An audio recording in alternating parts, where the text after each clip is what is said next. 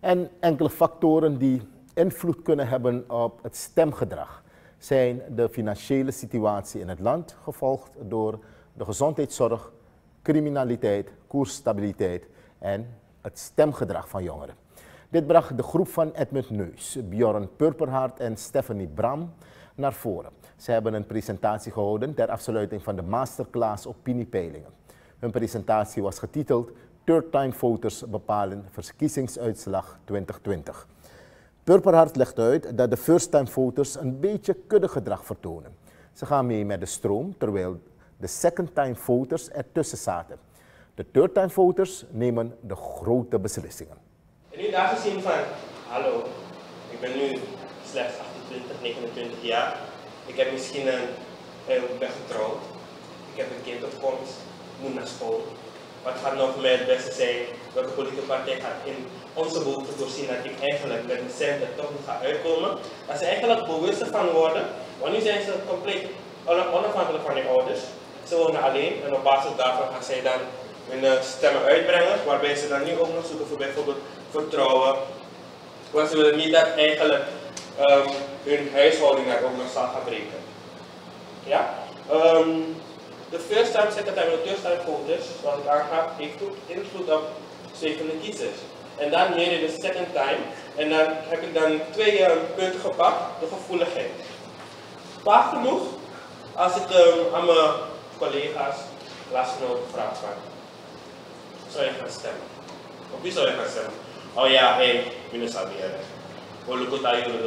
De groep heeft ook gekeken naar de leeftijdsopbouw en partijcombinatie van de kiezers in Paramaribo en de peiling voor mei 2020.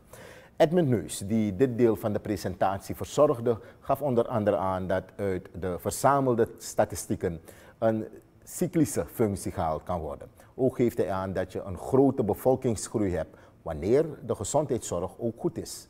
Dat wil zeggen iets dat steeds terugkeert.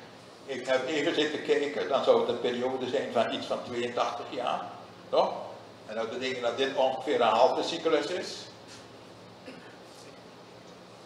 Waarbij het verloopt van uh, min of meer een dieptepunt, toch? Voor de 23-jarigen die daar zitten, in, in die tweede groep dan. Die eigenlijk dus al voor de tweede keer gestemd hebben.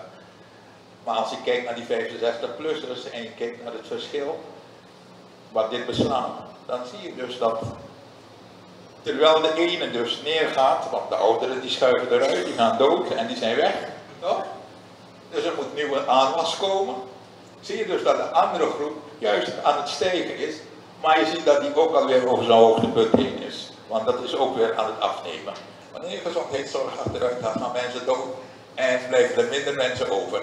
En zie je dus, ga je dus ook zien dat de groepen die inschrijven voor volgende verkiezingen ook kleiner gaan worden. Want inderdaad, de vorige verkiezing was een bijzonder grote groep, die 53.000. Ook deze verkiezing is een grote groep. Maar ik ben er zeker van, als we twee verkiezingen verder kijken, naar alles wat we gehad hebben de afgelopen jaren in de gezondheidszorg, dat die groep kleiner wordt. We zullen dan afsluiten met onze conclusie. Eigenlijk de reden waarom we dit gedaan hebben.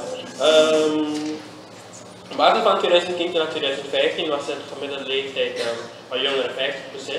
En uit de grafieken die hebben we ook nog terug kunnen halen dat die is gaan stijgen. Waarbij je nu aan ook dacht, um, dit is wel van vorig jaar, 2018, ik dacht augustus. Dus ik heb hem niet echt meer nagekeken, maar dat het eigenlijk dat op 60 tot 63% jongeren uitkwamen, waarbij dat dan wel een hele grote hele grote invloed zal zijn op onze verkiezingen van 2020. Dat was uh, dus Bjorn Purperhart afgelopen woensdag tijdens de afsluiting van de masterclass Politieke Opiniepeilingen, verzorgd door de Stichting Wetenschappelijke Informatie, SWI. Het doel was de cursisten kennis bij te brengen, zodat ze op een kritische wijze de verschillende opiniepeilingen kunnen beoordelen.